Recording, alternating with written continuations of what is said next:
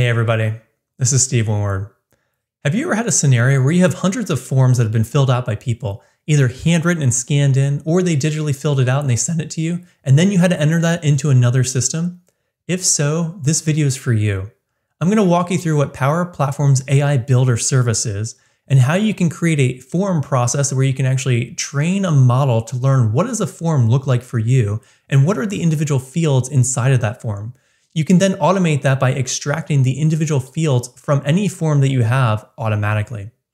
I'm then going to show you how you can take the results of that and then use Power Automate Desktop RPA to take those pieces of information and automatically populate a web application form and submit it for you. I think this is a really awesome example of how you can use low code to save a ton of time. Now, this video is going to be structured where first I'm going to walk you through the demo, and then I'm going to walk you through building the AI Builder model, and then I'll show you how I use Power Automate Desktop RPA to tie it all together. Everything that I'm going to be showing in terms of the form, the sample forms that I'm using are all going to be posted on GitHub. Even the web application that I'm using with Power Automate RPA I've also posted that code on GitHub as well if you wanted to recreate that. Let's go ahead and switch over to my laptop and let me show you what the demo looks like. Okay, so here's the setup. I've got the Word document that I sent out to everybody in my organization that's coming to the food event, and I asked them to fill this out. Now, some of them digitally signed this, some of them printed this out and filled it out by hand and then scanned it back in. And now I've got a whole slew of files that I don't really know what the best way is to process all of these. So let's just take a look at a few samples. So this is one where somebody filled it out in Word and just sent it over to me in PDF. That's one example. I have other examples that look like this, where they wrote it out by hand and then scanned it back in and sent it to me as a PDF. Now, what I want to do is I want to have a way that I can take one of these files, any of these files, extract the fields automatically, and then do something to automate that. Now, I also have a form here where if I can get all the information into the form where it's got the same fields that are requested by the Word document, then what I can do is take a list of all of the input and export that as Excel. So the ultimate goal here is to find a way to automate taking input like this, populating the web app, and then automating that process. Let's go ahead and take a look at what this looks like in action. So I'm going to go to a Power Automate flow that I've already set up. I'm going to run this. And what we're going to do is we're going to specify a single file here. In this case, we're going to choose one of the handwritten examples. So we'll go ahead and choose uh, the third option. We'll specify this as a PDF file.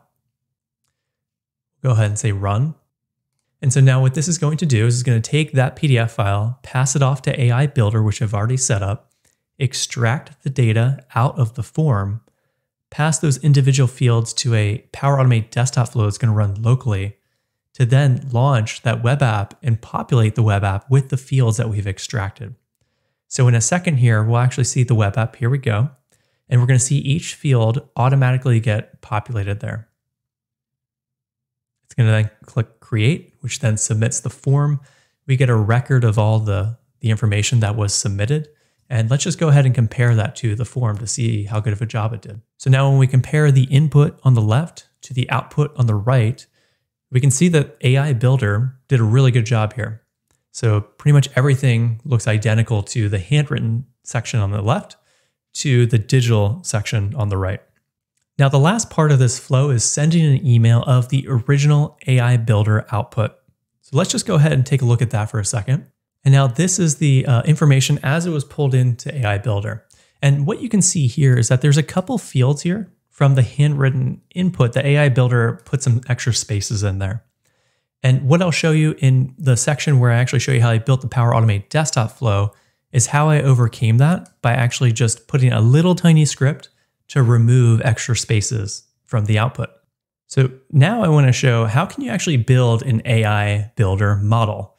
Well, we're on the AI Builder screen here. We're going to go to form processing. We're going to give this a name. We'll call this uh, food sign up model. Once we do this, we do need to give it what are the field names we expect to get back. So let me go ahead and populate that really quickly. Okay, so I just quickly added the field names that we expect in this form. The next thing we need to do is we need to give it some sample data so we can start training this model. So let's go ahead and create a new collection. And now let's go ahead and add some files. in this case, we're going to add both the digital files and the handwritten files because they're all part of the same form type. So here are the five digital files. We'll go ahead and upload those. And now I'm going to add the handwritten files as well. And now that we did that, we have 10 documents in this collection. Let's go ahead and analyze this, and then we'll start training the model. Okay, so now at this step, what we need to do is we need to start training the model with what are the different fields and how do they map to the data that we just specified for the fields that we're gonna use in the model. So notice as I'm hovering over text, it's actually picking up different parts that we can select. I'm gonna do the event name first, so I'm actually gonna drag this over company cookout. I'm gonna tag that to event name. I'm now gonna select the date and I'm gonna tag that to date.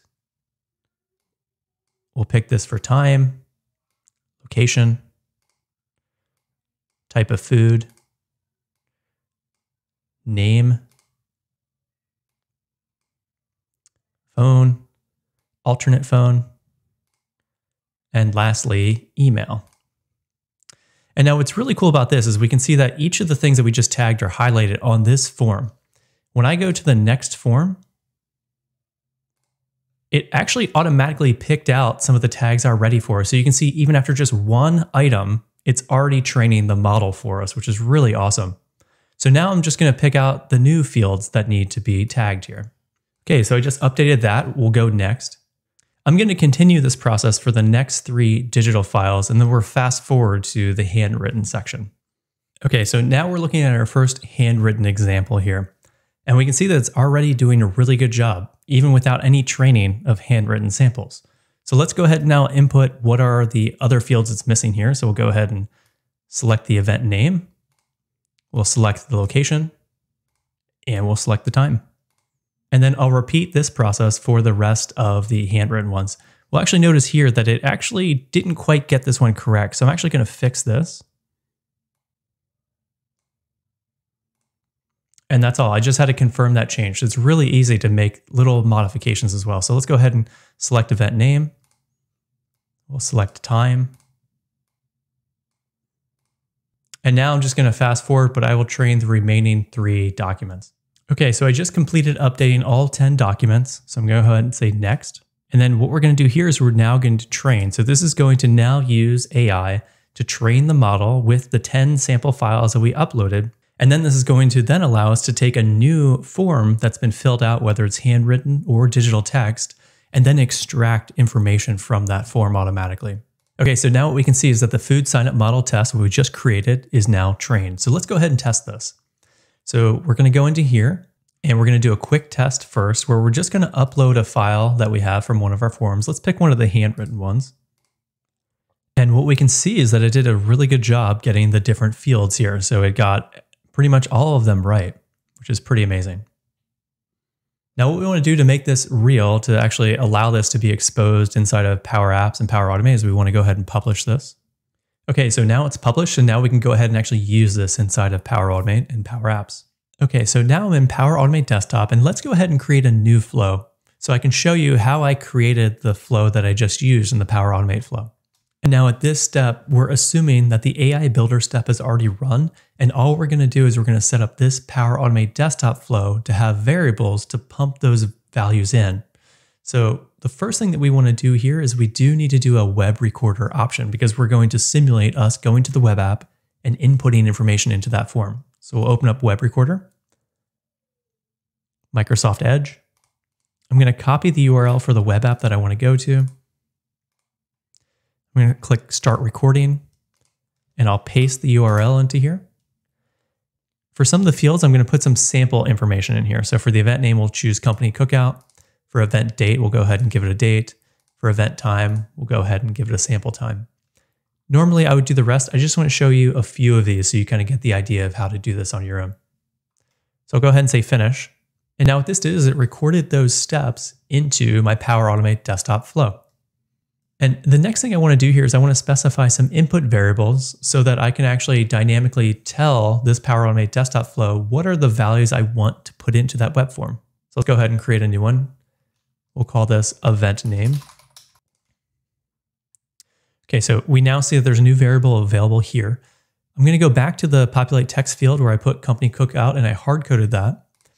And what I'm going to do is I'm going to replace that now with that new variable that we just created, event name. Go ahead and save that.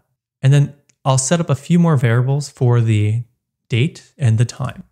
So I now just created variables for event name and event time. I'll go ahead and replace these actions with those variables. Okay, so now it's set up with event name, event date, event time. Let's test that really quickly. And there we go. Event name, date, and time just got inputted successfully. So now what I'm going to do is I'm going to fast forward to the finished version of the Power Automate desktop flow that I used in the demo.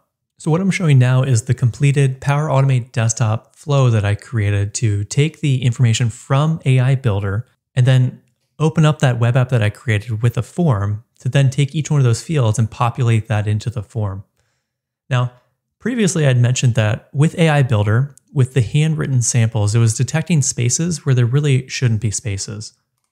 So if I go back to this sample, for example, the output of that had instances where there were extra spaces in some of the fields where there shouldn't have been.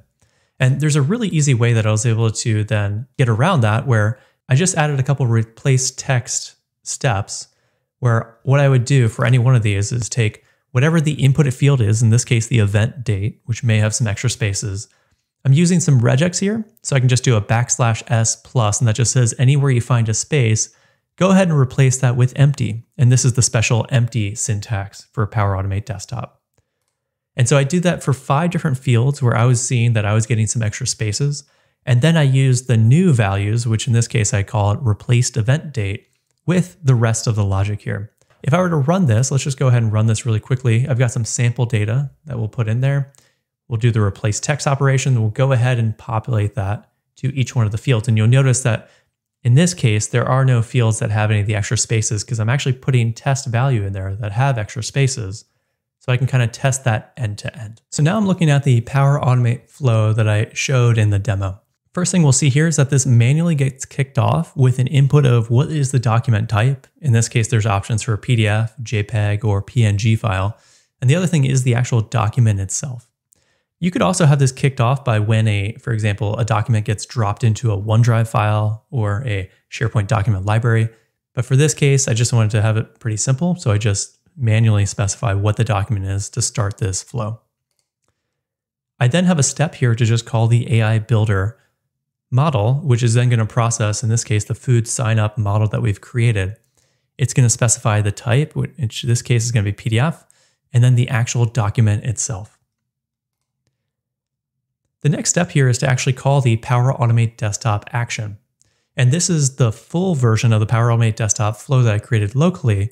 And what I'm doing is I'm just taking each one of the outputs of the AI Builder step and passing that in as a parameter to the Power Automate Desktop action. So we can see that basically we've got the event name, date, time, location, and all the other fields that AI Builder collected, just passing that over.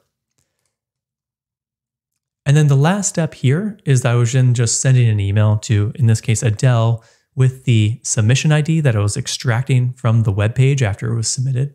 And then all of the information that got collected from AI Builder, just passing that back in an email. Thank you all for watching this video. If you have any questions or comments about this, please feel free to put them in the comments below. Once again, everything that I've showed today, I have outlined on my GitHub repository in the description below, so feel free to check that out as well. Until next time, thank you for watching this video.